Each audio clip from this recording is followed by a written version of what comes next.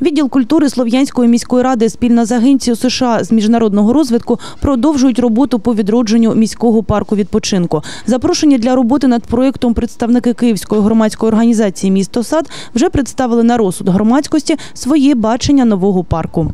Итак, они остановились на зонировании, они предложили, чтобы в, на входе в парке был обязательно навигатор. Навигатор – это такая доска объявлений, где описано, какие у нас зоны есть, указатели, куда пойти, где что. Мы обсудили проблему кричащую туалетов, и я надеюсь, что все-таки наступит время, когда вместо одного туалета в парке будет еще, будут обязательно туалеты для удобства наших горожан. Вот. Сейчас ведется работа по вот как бы созданию проекта. Понятное дело, что мы очень надеемся, что будут э, сюда вложены не только э, средства э, американского народа, да, в том числе USAID, но мне так кажется, что должны принять участие и жители нашего города, должны принять участие предприниматели нашего города, естественно, должны быть вложения и э, наши, это бюджетне вложения. Команда продовжує збирати ідеї з благоустрою парку. Черговим етапом роботи є пошук нової назви для слов'янського парку, яка стане брендовою назвою проєкту. Для цього ініціатори провели опитування і запропонували наступні варіанти назви. Да, был проведен небольшой опрос жителей нашего города. У нас есть результаты и рассматривается несколько названий. Шелковичный парк, парк культуры и отдыха, как он сейчас называется, центральный парк.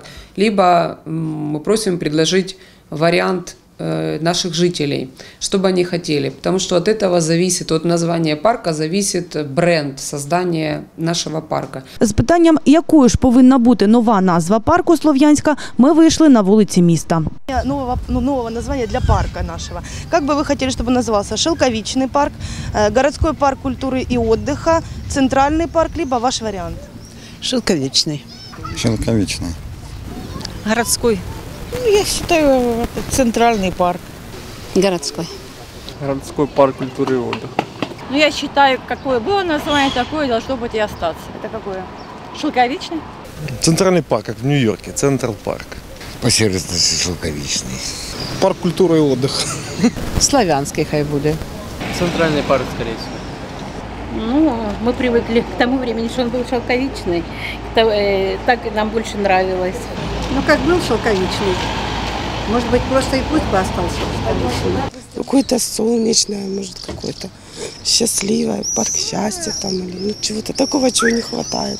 Центральный лучше, конечно, как-то звучит немножко как-то приятно. Мне все варианты, в принципе, нравятся. Ну, более, наверное, понятный центральный парк культуры и отдыха города Славянска. Шелковичный, наверное, как и раньше назывался. Да, центральный, наверное. Шелковичный. Шелковичный, я Как это был? Центральный парк. Городской парк культуры и отдыха. Больше всего нравится. Я тоже так думаю. Городской парк культуры и отдыха. Ну, центральный парк, наверное. Ну, он раньше и назывался Шелковичный парк. Пускай бы так и осталось. Да пусть их так и оставил. Ну, так надо так сделать, чтобы он был как в тот раз шелковичный. Чтобы деревья фруктовые росли, как раньше. Пускай будет шелковичным парком, и дети до 7 лет были, катались бесплатно у нас. Центральный. Культурный парк.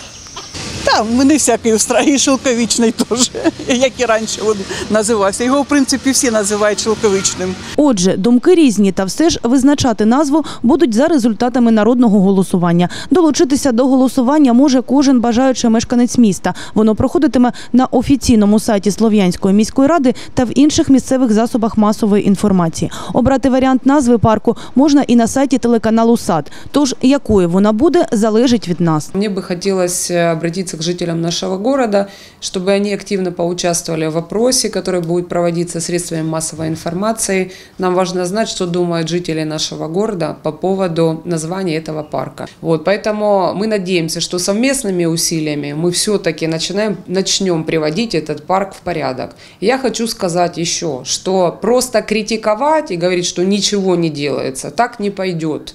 Нужно совместными усилиями приводить парк в порядок.